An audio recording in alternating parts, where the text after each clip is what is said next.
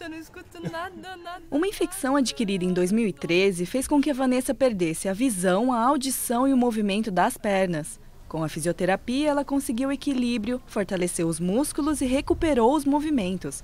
A cegueira e a surdez permaneceram, mas ela nunca deixou de lutar para ter um dia a dia melhor.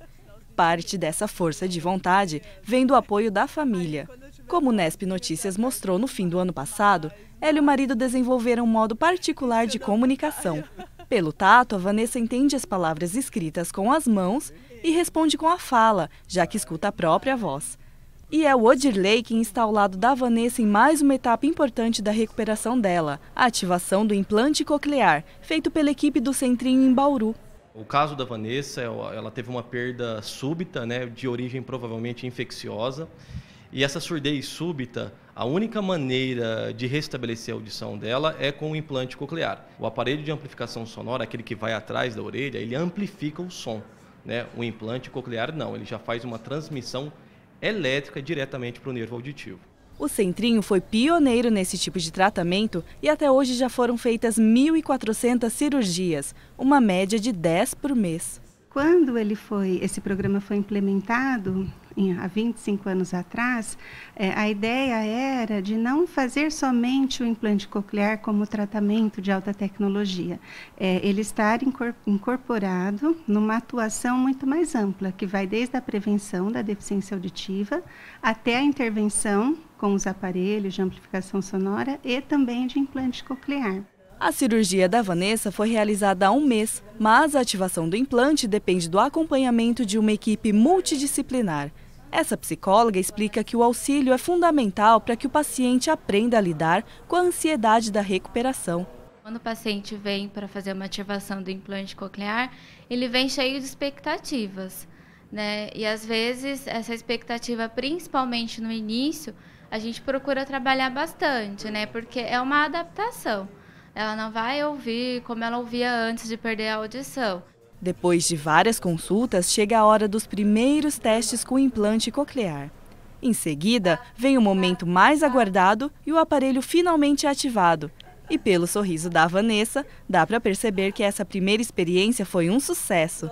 Mas para que ela reaprenda a identificar os sons, ainda é necessário um longo período de adaptação. A cirurgia de implante é um uh, um fator dentro desse processo de reabilitação. Então, quando ela vem para ativação, é o momento que a gente vai ligar pela primeira vez, que ela vai receber a estimulação pelo implante, né? E isso, na verdade, é a porta de entrada para os sons, é o acesso aos sons.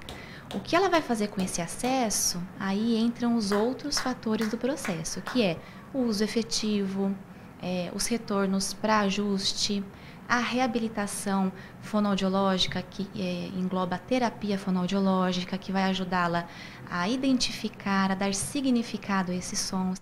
A Vanessa e o marido já sabiam da necessidade dessa adaptação e encaram a nova mudança de forma bastante positiva. A nossa expectativa era dela estar tá voltando a ouvir.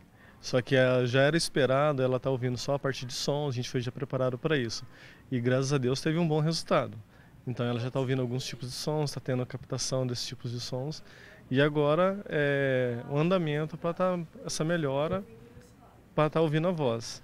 Então ela está voltando a ouvir, a qualidade de vida dela vai melhorar muito, a comunicação principalmente com as outras pessoas. Eu estou muito animado com esse processo de adaptação, parecendo que está sendo muito bom eu acho que o resultado vai ser ótimo. Eu já consigo ouvir as vozes e os barulhos, isso é muito bom. A minha expectativa é de melhorar muito a minha comunicação com as pessoas e também vai ajudar muito na distração, porque sem a visão e sem a audição eu quase não tenho como me distrair. Eu não consigo ver TV, nem ouvir um rádio, nem sequer ouvir as pessoas conversando. Então a audição vai melhorar muito nisso, vai ajudar muito no meu dia a dia e na comunicação com as outras pessoas. E se o ajuste à nova rotina depende do apoio das pessoas queridas, dá para ver que isso a Vanessa tem de sobra.